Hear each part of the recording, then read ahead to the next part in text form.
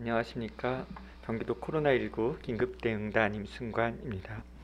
6월 15일 화요일 경기도 코로나19 대응 관련 정례 기자회견을 시작하겠습니다. 경기도의 확진자 발생 현황입니다. 6월 15일 0시 기준 경기도의 확진자 수는 전일 오전 0시 대비 120명 증가한 총 41,540명으로 도내 22개 시군에서 확진자가 발생했습니다. 국내 발생이 118명이며 해외 유입 관련 사례는 2명입니다. 신규 확진자 중 60세 이상 고령자는 15명으로 12.5%를 차지합니다. 감염 경로를 알 수 없는 확진자는 21.7%인 26명입니다. 외국인 확진자는 8.3%인 10명입니다. 지난 6월 6일부터 6월 12일까지 한 주간 발생했던 일평균 확진자는 160명입니다. 전주 170명 대비 10명, 약 5.9% 감소했습니다. 60세 이상 고령 확진자는 일평균 26명으로 전주 36명 대비 10명, 27.8% 감소했습니다. 진단일 당시 감염 경로를 알 수 없는 확진자는 일평균 45명으로 전주 52명 대비 7명, 13.5% 감소했습니다. 외국인 확진자는 일평균 9명이었고 전주 12명 대비 3명 감소했습니다. 경기도 코로나19 병상 운용 현황에 대해 말씀드립니다. 6월 14일 20시 기준 일반과 중증 환자 병상을 합한 도내 의료기관 확보 병상은 총 1,547개입니다. 현재 병상 가동률은 53.0%로 820개 병상을 사용하고 있습니다. 일주일 전인 6월 8일 20시 기준 54.6% 가동, 가동률 대비 1.6%포인트 감소했습니다.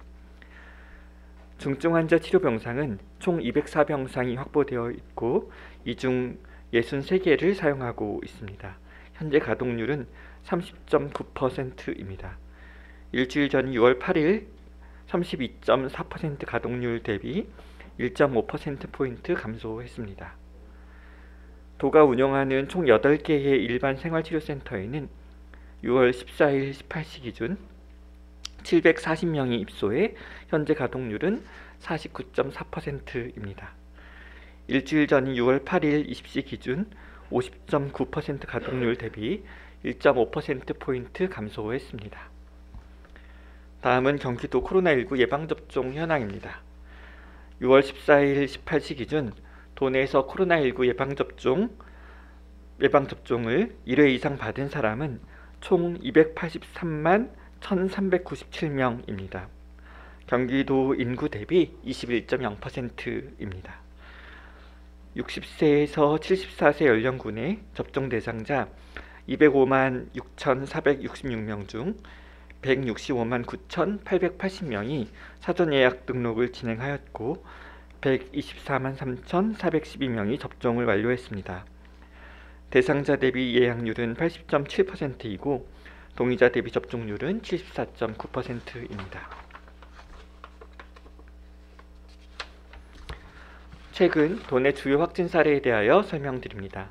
먼저 의정부시 주점 관련 집단 감염 사례입니다. 지난 8일 주점 방문자 한 명이 사흘 전부터 발생한 코로나 증상으로 진단검사를 진행했고 이후 확진 판정을 받았습니다. 역학조사 과정에서 주점 방문 이력이 확인되었고 이에 관련자들을 대상으로 진단검사를 실시한 결과 11일까지 9명의 추가 영성자가 확인되어 누적 확진자는 총 10명입니다. 접촉자 분류를 통해 97명은 자가 격리, 321명은 능동 감시, 130명은 수동 감시 조치했습니다. 확진자가 방문했던 주점에 대해서는 방역 및 소독 조치를 완료했으며 확진자의 가족을 통해 유치원에서도 확진자가 발생한 점을 감안하여 추가 확진자 발생 가능성에도 무게를 두고 모니터링 중입니다. 다음은 이천시 지인 모임 관련 집단 감염 사례에 대해 말씀드립니다. 타운하우스 거주자 한 명이 지난 6일 증상을 인지하여 진단 검사를 받았고 이틀 뒤인 8일에 확진 판정을 받았습니다. 역학조사 과정에서 6월 2일에 진 모임을 가진 이력이 확인되어 모임, 모임 참석자들을 대상으로 진단 검사를 실시했습니다. 이후 10명의 추가 양성자가 확인되었고 확진자는 모두 11명입니다. 이웃들과의 접촉이 빈번했던 거주 특성을 고려하여 주거 지역 주민들 전원을 대상으로 진단 검사를 실시했으며 95명은 자가 격리, 31명은 능동 감시 조치했습니다. 술집이나 식당, 지인 모임에서의 집단 감염 사례가 여전히 빈번하게 보고되고 있습니다. 특히 위정부시 주종 관련 클러스터 확진자 10명은 모두 20에서 30대로 젊은 연령층입니다. 백신 접종률이 상승하고 일상 회복에 대한 기대가 점차 높아지는 것은 사실이지만 아직 전체 인구 대비 면역 획득률이 충분하지 않아 사회를 제바, 제한적으로 개방해 가는 중입니다. 아직 공교육이 정상 운영되지 못하고 있고 사회복지시설 등도 마찬가지 사정입니다. 많은 불편과 곤란이 있지만 공동체성을 발휘하여 이 시기를 잘 넘겨야 합니다. 정부와 지자체의 방역 수칙을 철저히 준수해 주시기를 당부드립니다. 도는 2021년 상반기 두 가지 방역 정책에 주력하고 있습니다. 첫 번째는 고위험군 대상의 코로나19 백신 접종률을 높이는 것이었습니다. 코로나19 예방접종이 시작된 지난 2월 26일부터 6월 9일까지 발생한 도내 코로나19 사망자는 총 151명으로 집계됩니다. 삼가 고인의 명복을 빌고 유가족들께 유가족들께 심심한 위로의 말씀을 전합니다. 해당 기간 도내 사망자 151명의 평균 연령은 79.6세였고 여성이 56.3%로 다소 많습니다. 사망자 중 80대 이상이 80명으로 전체의 53.0%, 70대가 46명으로 30.6%, 60대가 18명으로 11.9%입니다. 60세 미만의 경우도 7명, 4.6%로 어, 집계되었습니다. 조사 기간 코로나19 사망자 151명 중 백신 미접종자는 139명이며 사망자 대비 92.1% 비율입니다. 약 7.9%에 해당하는 12례는 백신 접종 경력이 있었습니다. 12명 사망자들의 접종일부터 확진일까지 소요기간은 평균 4.2일로 항체가 형성되기에는 매우 짧은 기간이었습니다. 특히 그중 9명은 한 노인 돌봄 시설에서 발생한 집단 감염과 연관된 사건이어서 특히 안타깝습니다. 4월 21일에 첫 집회 환자가 발생했던 노인 주야간 보호센터 집단 감염이었고 백신 접종 후 3일이 지난 시점에서 집단 감염이 발견된 경우였습니다.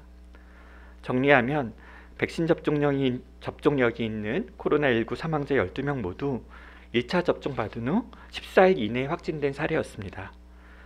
2차 접종까지 완료한 경우 중에서 사망했던 사례는 도내에 아직 없고 1차 접종 후 14일 이상 경과한 시점에 확진된 사람들 중에서도 사망 사례는 아직 보고되지 않았습니다. 표본 크기가 작아 해석이 조심스럽지만 백신 접종 후 면역력이 형성된 이후에 코로나19에 감염되고 사망한 사람은 아직 도내에서 보고되지 않았습니다. 고위험군을 대상으로 우선 실시한 코로나19 백신 접종 사업의 중요성을 다시 한번 일깨워주고 있고 앞으로 사망 지표가 더 개선될 것에 대한 기대가 큽니다. 고위험군의 사망을 잘 통제해낼 수 있다면 사회를 더 개방적으로 운영하는 결정도 수월해질 것입니다. 도가 주력하는 두 번째 방역 정책은 유증상자 조기 발견 캠페인을 널리 확산시키는 것입니다. 도는 의심될 땐 주저없이 진단 검사, 슬로건 앞세워 유증상자 조기 발견에 집중해 왔습니다. 4월과 5월에 코로나19 발생 통계 변화를 전 분기와 비교하여 설명드리겠습니다. 먼저 증상 발현 후 확진까지의 소요 기간 통계입니다. 유증상자를 대상으로 분석했을 때 20년 4분기에는 증상 발현부터 확진까지 소요된 시일이 3.86일이었습니다. 21년 1분기까지는 3.75일로 유사했지만 4월과 5월 두 달간은 3.39일로 개선되었습니다.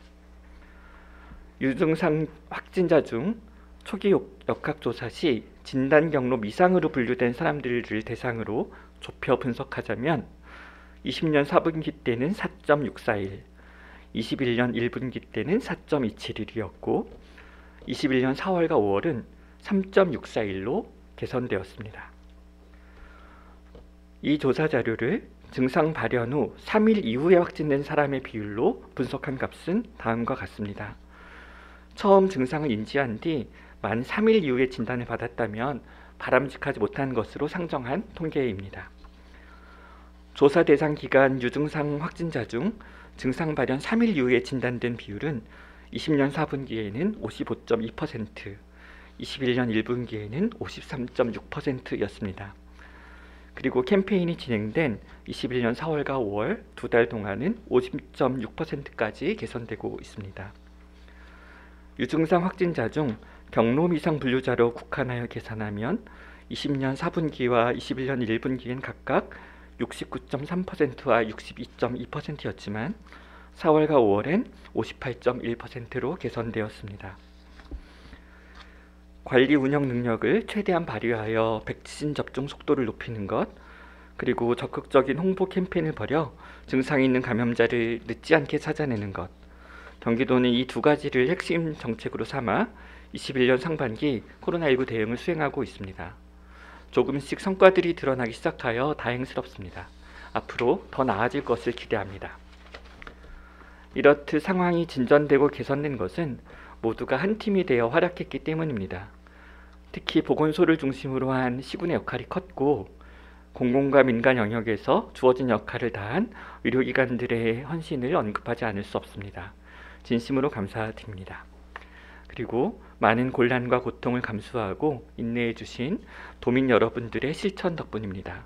존경과 감사의 인사를 드립니다. 하지만 아직 갈 길이 많이 남았습니다. 백신 접종률을 먼저 높일 기회가 있었던 국가들에서도 변이 바이러스가 확산되고 시민들의 실천이 약해지며 미래를 예측하기 어려워진다는 소식이 들립니다. 코로나19 팬데믹에 대해서 인류는 아직도 모르는 것이 많습니다. 항로를 모른 채 떠난 항해가 지속되고 있습니다. 공동체의 지혜를 모으고 용기를 합쳐 잘 이겨내야 합니다. 또는 맡겨진 책임을 끝까지 다하겠습니다. 감사합니다.